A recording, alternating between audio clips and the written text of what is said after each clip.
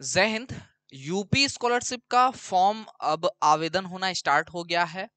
देखिए, फॉर्म तो स्टार्ट हो गया है। आप आवेदन किसी साइबर कैफ़े से भी जाके करवा सकते हैं। आप 20-50 देंगे तो ज़रूर आवेदन कर देगा।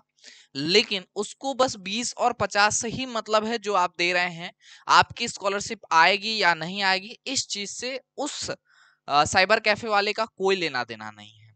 या फिर आप अगर सेल्फ भी फॉर्म भरने का प्रयास करते हैं और बिना कुछ चीज़ों को, कुछ पॉइंट्स को समझे फॉर्म फिल करेंगे तो निश्चित तौर पे फॉर्म रिजेक्ट हो जाएगा और जब आपका एक बार फॉर्म रिजेक्ट हो गया तो करेक्शन करने का तो मौका मिलता है, लेकिन करेक्शन करते करते इतना लेट हो जाता है कि तब तक बजट ही खत्म हो जाती है और स्कॉलरशिप नहीं मिल पाता। इसलिए आज की इस वीडियो में मैं ये तो कवर करूँगा ही कि यूपी स्कॉलरशिप का फॉर्म भरते कैसे हैं, बिना गलती के, बिना मिस्टेक के, चाहे आपको फ्रेश फॉर्म भरना हो, चाहे आपको रिनेवल करना हो, दोनों चीज़ों के को यहाँ पे एक्सप्लेन करूँगा।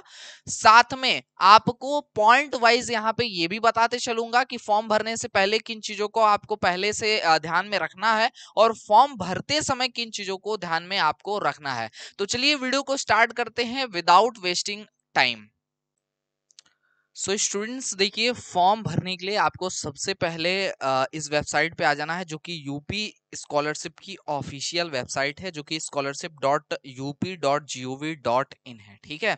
तो ये गूगल में आपको लिख करके सर्च कर लेना है। आप जैसे ही सर्च करेंगे, आपको रिडायरेक्ट हो करके इसी वेबसाइट पे भेज दिया जाएगा, ठीक है? तो सबसे पहले ये वेबसाइट पे आपको यहाँ पे आ जाना है। इसके बाद यहाँ पे एक ऑप्शन आपको दिखाई दे रहा होगा स्टूडेंट का ये, ठीक है? तो आपको स्टूडेंट वाले ऑप्शन पे क्लिक करना है। स्टूडेंट वाले ऑप्शन पे क्लिक करेंगे, तीन ऑप्शन दिखाई देगा। रजिस्ट्रेशन फ्रेश लॉगिन और रिलेबल लॉगिन ठीक है? तो सबसे पहले जो बच्चे फ्रेश यानी कि जो बच्चे फ़र्स्ट ईयर में गए हैं, नया फॉर्म भर रहे हैं, ठीक है? वो सभी बच्चे यहाँ पे रजिस्ट्रेशन करेंगे। और जो बच्चे फॉर्म पहले पिछले वर्ष में भर चुके हैं, वो ऐसे सभी स्टूडेंट यहाँ पे क्या करेंगे? डायरेक्ट रिनेबल लॉग करेंगे, ठीक है? और रजिस्ट्रेशन होने के बाद जो नए बच्चे हैं, वो फ्रेश लॉग करके अपने फॉर्म को कंप्लीट करेंगे, ठीक है? तो ये स्टेप होने वाले हैं। फॉर्म भरने से पहले कुछ चीज़ों को हम सबसे पहले समझ लेते हैं। सबसे पहला तो आपको अपना आधार सीडिंग स्टेटस यहाँ से चेक कर लेना है, ठीक है? अपना आधार आप चेक कर लीजिए कि आपके बैंक अकाउंट से मैप्ड है या नहीं, ठीक है? अगर आपका अकाउंट मैप्ड नहीं है, यानी आधार आपका सीड नहीं हुआ है तो स्कॉलरशिप आपको नहीं मिलेगी, ठीक है? सबसे पहली पॉइंट तो यही है, आप समझ लीजिए।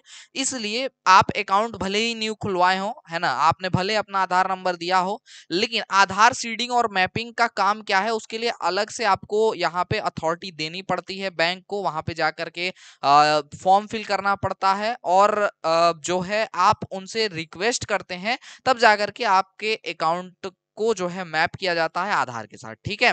तो इसलिए आपको जाकर के ये बैंक पे आधार सीडिंग करानी पड़ेगी। अगर आप नहीं कराते हैं तो मतलब स्कॉलरशिप ना के बराबर मान के चलिए, नहीं ही आएगा एक तरीके से, ठीक है? तो स्टार्ट करते हैं हम लोग सबसे पहले फ्रेश वाले बच्चों के लिए और सबसे पहले मैं बता दू, रजिस्ट्रेशन करना होगा, इसलिए हम रजिस्ट्रेशन पे यहाँ से क्लिक करेंगे।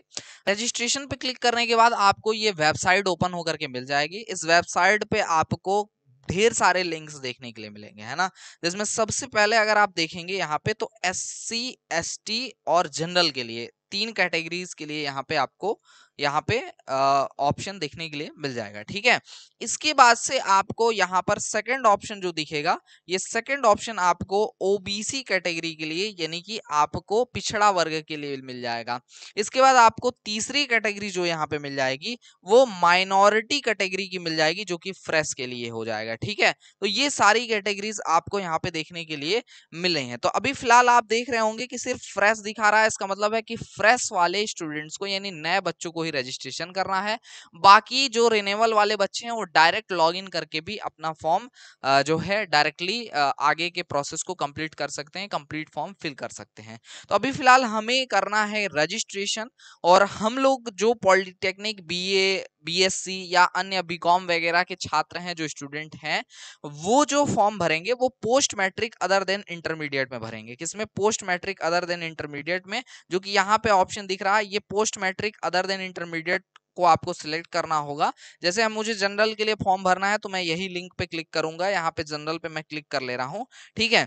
इसके बाद क्या है, यहाँ पे जनरल पे क्लिक करने के बाद हमें यहाँ पे जो है देखिए साफ़ साफ़ लिखा हुआ है कि दसमोत्तर छात्रवृत्ति व शुल्क प्रतिपूर्ति उत्तर प्रदेश में अध्ययनरत कक्षा ग्यारह और बारह के अतिरिक्त छात्र छात्राओं फ्रेश स्टूडेंट के लिए ऑनलाइन रजिस्ट्रेशन फॉर्म, ठीक है? इसमें देखिए आपको क्या क्या डिटेल्स रजिस्ट्रेशन करने के लिए देने होंगे सबसे पहले तो आपको यहाँ से अपना जिला चयन कर लेना होगा तो फटाफट से हम जिला चयन कर लेते हैं यहाँ से। तो हमने जिला अपना चयन कर लिया, गोरखपुर जो है हमारा जिला है। गोरखपुर जिला चुनने के बाद यहाँ से हमें अपनी शिक्षण संस्थान चुननी है। शिक्षण संस्थान में हमें जैसे एमपी पॉलिटेक्निक गोरखपुर चुनना है तो हम यहाँ से एमपी पॉलिटेक्निक आपका जो भी संस्था होगी, जो भी आपके डिस्ट्रिक्ट के अंदर, वो आप चुन लेंगे।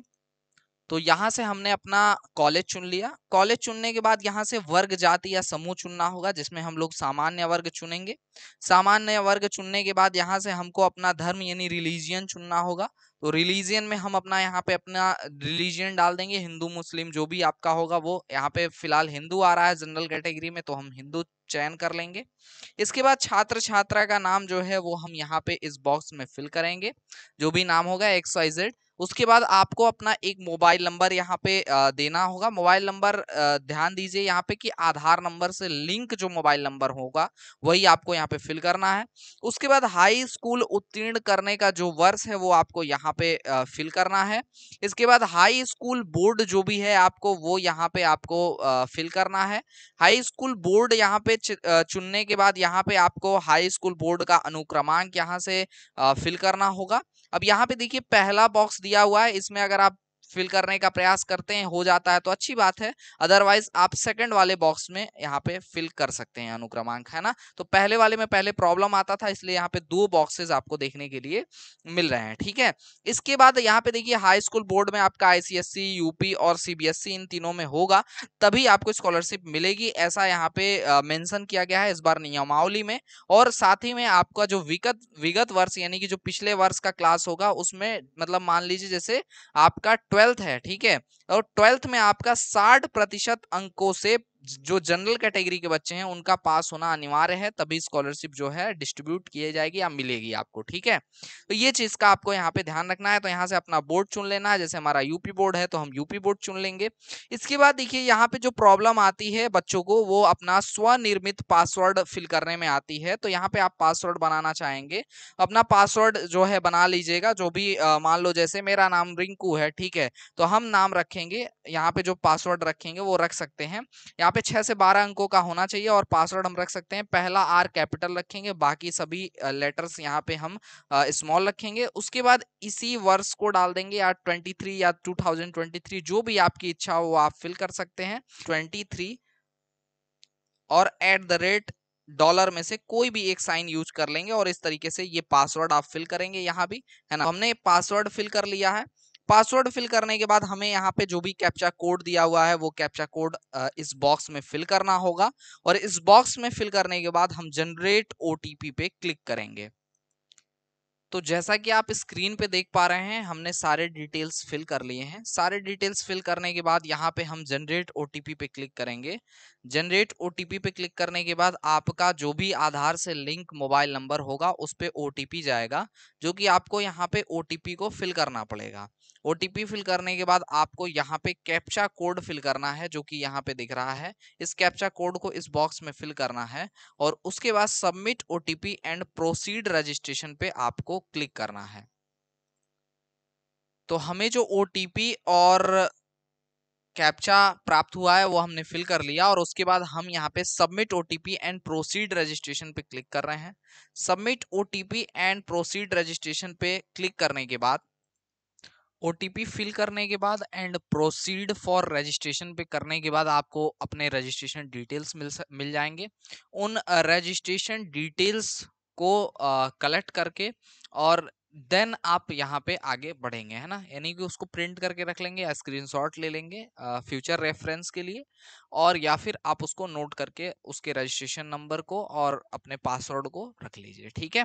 अब यहाँ पे जो बच्चे रिनेवल करना चाहते हैं, वो यहाँ से डायरेक्ट क्लिक करके जा सकते हैं या फिर यहाँ से स्टूडेंट पे क्लिक करेंगे और आप रिनेवल पे क्लिक कर लेंगे यहाँ पे जो बच्चे रिनेवल का फॉर्म भर रहे हैं जैसे post matric other than inter में ही B A B S C polytechnic के सभी बच्चे फॉर्म भरेंगे।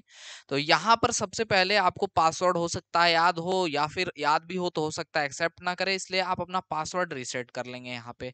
ठीक है जो बच्चे 2022-23 में फ़र्स्ट ईयर में थे यानी पिछले साल वो नवीन यहाँ से फ्रेश कर लेंगे और अपने डिटेल्स भर के और यहाँ से अपना पासवर्ड रीसेट कर लेंगे। और यहाँ पे आपको पहले रजिस्ट्रेशन नंबर देना होगा आ, सबसे पहले। उसके बाद आपको अपना जन्म तिथि यानी डेट ऑफ़ बर्थ देना होगा हाई स्कूल का बोर्ड का डिटेल देना होगा हाई स्कूल उत्तीर्ण करने का वर्ष देना होगा और यहाँ से आपको अपना हाई स्कूल का रोल नंबर फिल करना होगा। कैप्चा कोड आपको जो दिया हुआ है, ये आपको इस बॉक्स में फिल करना है और उसके बाद पासवर्ड पुनः प्राप्त करें पे क्लिक करना है और पासवर्ड मिल जाएगा पासवर्ड रजिस्ट्रेशन नंबर को आपको यहाँ पे सेव कर लेना है। सो so, जो बच्चे फ्रेश फॉर्म भरना चाहते हैं और जो बच्चे रिनेवल कर रहे हैं फॉर्म को उन दोनों में बहुत ज़्यादा फ़र्क नहीं है फॉर्म के को कंप्लीट करने में। लगभग लगभग सेम प्रोसेस ही है।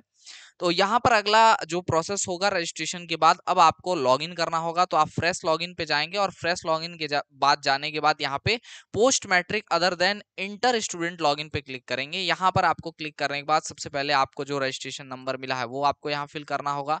अपना डेट ऑफ़ बर्थ आपको यहाँ करना होगा। यहाँ पर अपना आपको पासवर्ड वेरिफिकेशन कोड देना होगा और यहाँ पे आपको अपना कैप्चा कोड जो दिया हुआ है ये फिल करना होगा और फिल करने के बाद आपको सबमिट बटन पे क्लिक करना होगा। सो so, स्टूडेंट्स इस प्रकार से रजिस्ट्रेशन करने के बाद से आप आगे के प्रोसेस को कंप्लीट करेंगे। एक चीज़ मैं आप सभी को बता दूँ कि रजिस्ट्रेशन अगर 2023-24 के लिए बात करें तो स्टार्ट हो चुका है। अभी मैं रजिस्ट्रेशन पेज पे चल रहा हूँ और आपको दिखाता हूँ। सो so, स्टूडेंट्स जैसा कि आप सभी देख पा रहे हैं कि आप सभी के 2023 और 24 के लिए यूपी स्कॉलरशिप की वेबसाइट पर रजिस्ट्रेशन तो स्टार्ट हो गया है बट इसके आगे का जो लॉगिन के बाद प्रोसेस है ठीक है वो यहाँ पर अभी स्टार्ट नहीं हुआ है और इसीलिए जब ओटीपी एंड यहाँ पे ओटीपी फिल करने एंड प्रोसीड फॉर रजिस्ट्रेशन पे आप क्लिक करेंगे तो वहाँ हो सकता है कि आपको रजिस्ट्रेशन नंबर भी अभी ना अलाउट करें है ना? कुछ बच्चों को हो जा रहा है कुछ को अभी जो है ज़्यादातर को नहीं हो पा रहा है या आगे के स्टेप्स में नहीं बढ़ रहा है ठीक है? तो फॉर्म अभी कंप्लीट कह सकते हैं कि कंप्लीट फॉर्म अभी आ, नहीं ओपन हुआ है। पार्सियल ओपन है जिसमें आप अभी रजिस्ट्रेशन कर सकते हो। जैसे ही कंप्लीट फॉर्म आएगा आपके साथ मैं एक और वीडियो शेयर करूँगा जिसमें कंप्लीट इंफॉर्मेशन आपके साथ शेयर करूँगा कि कैसे आप सभी 2023-24 का फॉर्म फिल कर सकते हो, है ना? तब तक के लिए आप सभी, आप अपने बैंक अकाउंट को आधार से मैप करवा लीजिए। आधार कार्ड में और आपके हाई स्कूल के डिटेल्स में कोई डिफरेंस है तो उसको सही करवा लीजिए। यदि आपका इनकम सर्टिफिकेट नहीं है तो इनकम सर्टिफिकेट आप अपने नाम से बनवा लीजिए, क्योंकि हो सकता है कि आपके फादर के आप दो से ज़्यादा भाई बहन हो और सभी स्कॉलरशिप के लिए अप्लाई करें। ऐसे में एक अगर आप इनकम सर्टिफिकेट लाते हैं तो वो डुप्लीकेट होकर रिजेक्ट हो जाता है। कॉलेज वाले भले ही कहें कि आप फादर का इनकम सर्टिफिकेट लगाइए, बट इनकम सर्टिफिकेट आप अपना लगाएँगे तो ही पास होगा, अदरवाइज़ उसके वजह से भी रिजेक्ट हो जाएगा। कास्ट सर्टिफिकेट में भी सेम प्रोसेस है और इनकम का मैं बता दूँ, इनकम में पूरी फैमिली के इनकम डिटेल्स फिल होते हैं। ऐसा नहीं है कि अगर पापा के नाम से बनेगा तो आपके इनकम की डिटेल्स नहीं डलेगी या आपके नाम से बनेगा तो फादर के डिटेल्स नहीं डलेंगी। पूरी फैमिली की जो इनकम होती है ईयरली, उसके आधार पे आपका इनकम सर्टिफिकेट बनता है। इसलिए फैमिली के किसी भी मेंबर के नाम से इनकम सर्टिफिकेट बन सकता है और वो वैलिड भी होता है है ना? तो ये करेक्ट इंफॉर्मेशन है, इसलिए आपको अपने नाम से डॉक्यूमेंट्स सभी जो है बनवाने चाहिए ताकि आपका फॉर्म रिजेक्ट ना हो। सो so, स्टूडेंट्स इस वीडियो में पॉइंट टू पॉइंट सारी चीज़ें आपकी यूपी स्कॉलरशिप से रिलेटेड हर एक चीज़ें कवर की गई हैं और मुझे उम्मीद है कि आपको इस वीडियो को देखने के बाद फॉर्म भरने में कोई भी दिक्कत नहीं आएगी और ना ही आपका फॉर्म रिजेक्ट होने वाला है और 100 परसेंट आपको स्कॉलरशिप मिलेगी। अगर आपको ये वीडियो अच्छा लगा हो तो वीडियो को लाइक करिएगा एंड अपने दोस्तों के साथ शेयर ज़रूर करिएगा और चैनल पर नए हो तो चैनल को सब्सक्राइब कर लीजिएगा। यदि आप पॉलिटेक्निक फ़र्स्ट सेमेस्टर के स्टूडेंट हैं तो डेली लाइव क्लासेस के साथ हमारे साथ जुड़ सकते हैं क्योंकि free of cost live classes हमारे YouTube channel Sonu sir classes पे आप सभी को प्रोवाइड कराई जा रही हैं। मिलेंगे किसी अन्य वीडियो लाइव के साथ, तब तक के लिए जय हिंद, वंदे मातरम, आप सभी स्वस्थ रहें, मस्त रहें।